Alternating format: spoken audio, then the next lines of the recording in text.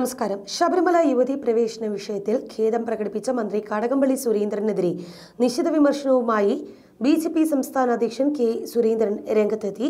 ശബരിമലയോട് കാണിച്ച അനീതിക്കും ക്രൂരതയ്ക്കും ആയിരം വട്ടം ഗംഗയിൽ മുങ്ങിയാലും കടകംപള്ളി സുരേന്ദ്രന് മാപ്പ് ലഭിക്കില്ല എന്ന് സുരേന്ദ്രൻ പ്രതികരിച്ചു.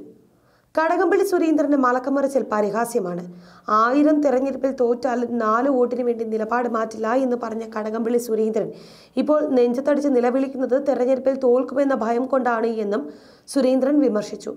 യുവതി പ്രവേശനവുമായി ബന്ധപ്പെട്ട് ശബരിമലയിൽ ഉണ്ടായ സംഭവവികാസങ്ങളിൽ മന്ത്രി കടകംപള്ളി സുരേന്ദ്രൻ ഖേദം പ്രകടിപ്പിച്ച് രംഗത്തെത്തിയതിന് പിന്നാലെയാണ് സുരേന്ദ്രന്റെ വിമർശനവും എത്തുന്നത്. ചെയ്തതിനെല്ലാം കടകംപള്ളി സുരേന്ദ്രൻ ഓരോന്നോരോന്നായി മാപ്പ് പറയണം. മനീതി സംഘത്തെയും രഹന ഫാത്തിമയും പതിനെട്ടാം പടി കയറ്റാൻ നോക്കിയതിന് കടകംപള്ളി സുരേന്ദ്രൻ പരസ്യമായി ഉത്തരവാദിത്തം ഏറ്റെടുക്കാൻ തയ്യാറാകണമെന്നും സുരേന്ദ്രൻ ആവശ്യപ്പെട്ടു. വിശ്വാസികളെ വഞ്ചിച്ചുകൊണ്ട് സുപ്രീം കോടതിയിൽ നൽകിയ സത്യവാങ്മൂലം തിരുത്തി കൊടുക്കാൻ തയ്യാറാകുന്നില്ല എന്നും കെ സുരേന്ദ്രൻ പറഞ്ഞു. കടകംപള്ളി ദേവസ്വം മന്ത്രി ആയതിനു ശേഷമാണ് ക്ഷേത്രങ്ങൾ തകർക്കാൻ ആസൂത്രിതമായ ഗൂഢാലോചന നടന്നത് എന്നും കെ സുരേന്ദ്രൻ ആരോപിച്ചു. ശബരിമല മാത്രമല്ല ഗുരുവായൂരും പത്മനാഭസ്വാമി ക്ഷേത്രവും തകർക്കാനാണ് കടകംപള്ളി സുരേന്ദ്രൻ ശ്രമിച്ചത് എന്നും സുരേന്ദ്രൻ പറയുന്നു. ക്ഷേത്രങ്ങൾ ഈ നിലയിൽ പരിതാപകരമായ അവസ്ഥയിലായത് കടകംപള്ളി സുരേന്ദ്രന്റെ ദുരൂഹമായ ഇടപെടൽ കൊണ്ടാണ് എന്നും അദ്ദേഹം ആരോപിച്ചു. കടകംപള്ളിയുടെ കള്ളക്കരച്ചിൽ പൊതുസമൂഹം വിശ്വസിക്കില്ല എന്നും സുരേന്ദ്രൻ പറഞ്ഞു. ശബരിമലയുടെ കാര്യത്തിലും വിശ്വാസികളുടെ കാര്യത്തിലും ലോക്സഭാ തെരഞ്ഞെടുപ്പ് കഴിഞ്ഞപ്പോൾ സി പി എം മലക്കമറിഞ്ഞിരുന്നു പക്ഷെ എന്തുകൊണ്ടാണ് കടകംപള്ളി സുരേന്ദ്രൻ സുപ്രീം കോടതിയിൽ സത്യവാങ്മൂലം മാറ്റി കൊടുക്കാത്തത്?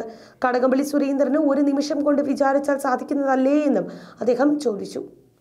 ജനങ്ങളെ കബളിപ്പിക്കാനാണ് ശ്രമിക്കുന്നത് എന്നും ഇത് ഒരു തരത്തിലും വിശ്വാസി സമൂഹം ചെവിക്കൊള്ളില്ല എന്നും കെ സുരേന്ദ്രൻ പറഞ്ഞു. നേരത്തെ ശബരിമല യുവതി പ്രവേശനത്തിൽ ഖേദം പ്രകടിപ്പിച്ച് കടകംപള്ളി സുരേന്ദ്രൻ രംഗത്ത് എത്തിയിട്ടുള്ളതാണ്. യുവതി പ്രവേശനവുമായി ബന്ധപ്പെട്ട് ശബരിമലയിലുണ്ടായ സംഭവവികാസങ്ങളിൽ ഇപ്പോൾ ഖേദമുണ്ട് എന്നായിരുന്നു മന്ത്രി പ്രതികരിച്ചത്. സുപ്രീം കോടതിയുടെ വിശാല ബെഞ്ചിന് മുന്നിൽ കിടക്കുന്ന വിധി എന്ത് തന്നെയായാലും വിശ്വാസികളുമായി ചർച്ച ചെയ്ത് മാത്രമേ അക്കാര്യത്തിൽ തീരുമാനമെടുക്കുകയുള്ളൂ എന്നും അദ്ദേഹം പറഞ്ഞു. സി പി എം സ്ഥാനാർത്ഥി പ്രഖ്യാപനത്തിന് പിന്നാലെ ശബരിമല യുവതി പ്രവേശനത്തിന് കൂട്ടുനിന്ന് സർക്കാരിന് തെറ്റുപറ്റിയെന്ന് സ്ഥാനാർത്ഥി കൂടിയായ ദേവസ്വം മന്ത്രി തുറന്ന് സമ്മതിക്കുകയായിരുന്നു.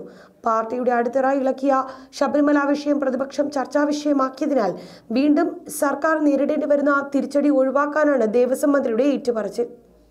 ശബരിമല യുവതി പ്രവേശന വിഷയവുമായി ബന്ധപ്പെട്ടുണ്ടായ പ്രശ്നങ്ങളിലൊക്കെ ഞങ്ങൾക്ക് വിഷമമുണ്ട്. എന്നാൽ ഇന്ന് അതൊന്നും ജനങ്ങളുടെ മനസ്സിലില്ല എന്നാണ് കരുതുന്നത്. ശബരിമല യുവതി പ്രവേശനവുമായി ബന്ധപ്പെട്ടുണ്ടായ കേസുകൾ പിൻവലിക്കാൻ സർക്കാർ തീരുമാനിച്ചിരുന്നു.